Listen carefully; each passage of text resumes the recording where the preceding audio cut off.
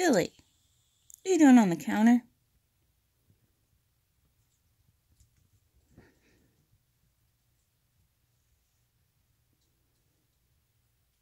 You had a drink of water, huh?